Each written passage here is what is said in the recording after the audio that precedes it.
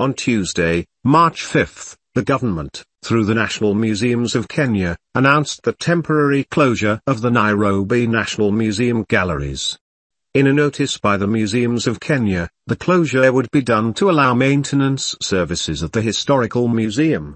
According to the notice, the museum will be closed from Monday, March 11, to Thursday, March 14, for fumigation purposes.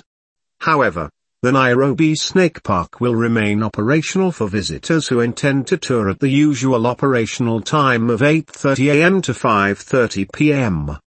Museums worldwide utilize fumigation services to eliminate pests from artworks, books, wooden objects, and other furniture. The Nairobi National Museum aims to exhibit the country's rich heritage for educational and leisure purposes offering visitors a range of shopping and dining facilities, as well as botanical gardens.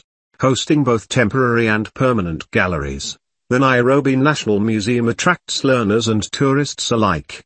Notable permanent galleries at the museum include the Cradle of Humankind Gallery, the Story of Mammals, the History of Kenya, the Cycles of Life Gallery, the Numismatic Exhibition, and the Asian African Heritage Exhibition Gallery. Initially located at the present-day Nyayo House, the museum was relocated to a larger building in 1922, where the Nairobi Serena Hotel now stands. In 2005, the city's National Museum closed for three years for extensive modernization and expansion.